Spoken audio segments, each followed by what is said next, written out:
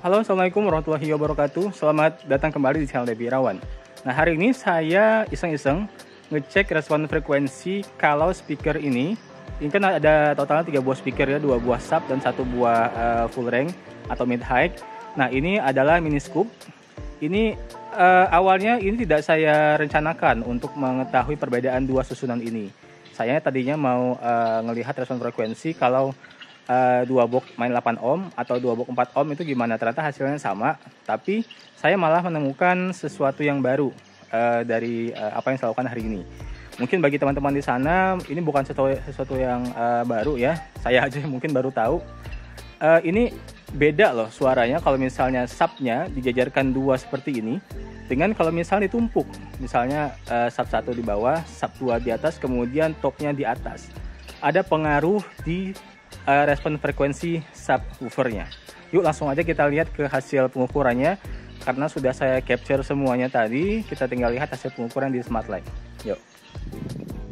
Oke, sebelum kita lihat hasil pengukurannya, ini adalah konfigurasi kedua ya. Eh, konfigurasi pertama tadi, sub ini saya tumpuk eh, ke atas, jadi ini di bawah, yang ini tadi sebelah atas, kemudian baru di atasnya Ashley G153 Pro dan ini sudah konfigurasi kedua yang mana subnya saya jajar uh, kiri dan kanan gini baru atasnya langsung uh, asli yang mid high nya uh, untuk hasil pengukurannya mari kita lihat. Ya kita lihat dulu dari yang waktu dia ditumpuk. Ini adalah sub yang di atas sub sebelah atas respon frekuensi seperti ini dan sub sebelah bawahnya seperti ini. Lebih lebar uh, respon frekuensi sub bawahnya ada penambahan respon frekuensi ke atas dan juga ada penambahan SPL di sini. Menurut saya uh, mungkin sekitar satu setengah dB di sini, lumayan banget. Nah, kemudian apabila dinyalakan dua-duanya dalam posisi ditumpuk, ini adalah hasil pengukurannya. Jelas terjadi uh, summing yang cukup signifikan. Nah, setelah dijajarkan ke kiri dan ke kanan, hasilnya adalah pertama yang kiri seperti ini, kemudian ini adalah yang sebelah kanan mirip-mirip walaupun ada selisih di sini mungkin ini adalah uh, miss sedikit penempatan speak, uh, mikrofonnya atau mungkin ya desain box rakitannya yang tidak akurat antara dua box itu. Dan kemudian ini kalau di summing peningkatannya sangat jelas sekali. Nah apabila kita bandingkan dengan yang ditumpuk yang ditumpuk ini misalnya kita bandingkan kalau misalnya sama-sama dinyalakan dua-duanya terjadi perbedaan ya. Lebih kencang kalau digandengkan kiri dan kanan daripada ditumpuk atas dan bawah. Kita lihat selisihnya kita ambil uh, di frekuensi 100 Hz untuk yang kiri kanan itu 8,51 ya. Kalau misalnya yang atas bawah dia ada 7,01. Jadi selisihnya 1,5 dB. 1,5 dB. Cukup uh, walaupun nggak begitu signifikan tapi cukup ada pengaruhnya karena kalau biasanya kita cari yang uh, batas yang kerasa bedanya itu kalau minimal 3 dB. Tapi 1,5 dB juga cukup berpengaruh. Ya inilah susunan yang pertama tadi yang saya bilang. Ini tadi saya minta bantu sama uh, keluarga di sini untuk disusunkan ulang seperti yang pertama. Jadi respon frekuensi sub yang bawah dengan yang atas ini beda. Yang bawahnya lebih kencang uh, respon frekuensinya di bagian uh, atasnya. Sedangkan yang atas ini agak lebih pelan apabila dibandingkan dengan yang di bawah. Nah berbeda dengan yang kedua tadi kalau ini ditaruh di yang atas ini ditaruh di bawah digandeng seperti itu respon frekuensinya akan mirip-mirip. Dan uh, eh, SPL nya kalau dua-dua dinyalakan ada selisih 1,5 dB dengan susunan seperti ini jadi uh, tergantung teman-teman menilainya mana yang lebih bagus. Apabila teman-teman pengen yang lebih kencang pasnya ditaruh di uh, gandeng. Kalau memang uh, mencari yang uh, ringkas ya mungkin ya susunan seperti ini. Susunan seperti ini. Kalau saya sih kalau dari susunan suka yang ini ya suka yang ini karena uh, twitternya berada di posisi di atas kepala. Jadi kalau misalnya dia nembak ke jauh tuh lebih uh, enak lah gitu. Daripada kalau misalnya tadi ditaruh di samping uh, terus asalnya di sini itu agak masih apa ya sejajar dengan telinga itu untuk twitternya. Takutnya kalau deket-deket mic gampang feedback segala macam ataupun terlalu kasar. Jadi ya ada kurang dan lebihnya sih setiap susunan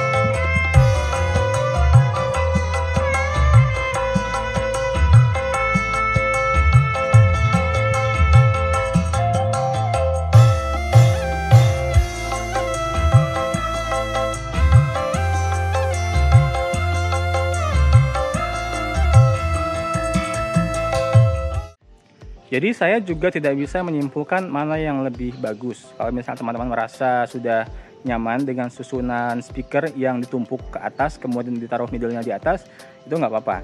Saya pun baru ketemu sekarang dan belum uh, begitu memperhatikan lagi kalau misalnya itu dipakai untuk uh, agak lama itu mungkin baru kelihatan enaknya yang mana. Tapi kalau misalnya kita lihat kencengnya, kenceng kalau dijejerkan seperti ini daripada ditumpuk ke atas itu hasil pengukuran ya bukan saya ngeklaim tapi hasil pengukuran ini seperti itu. Karena yang di sebelah atas speaker atas tadi SPL-nya agak kurang dibanding yang di bawah.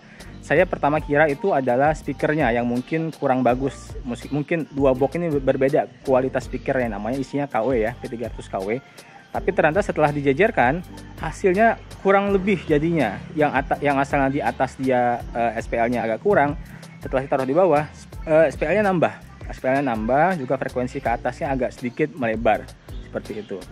Jadi yang mana yang bagus itu kembali kepada uh, keputusan teman-teman lagi. Pokoknya hari ini saya menemukan bahwa kalau ditepuk ke atas dengan dijajarkan di bawah lebih kenceng yang dijajarkan dua di bawah SPL-nya. Demikian, terima kasih. Assalamualaikum warahmatullahi wabarakatuh.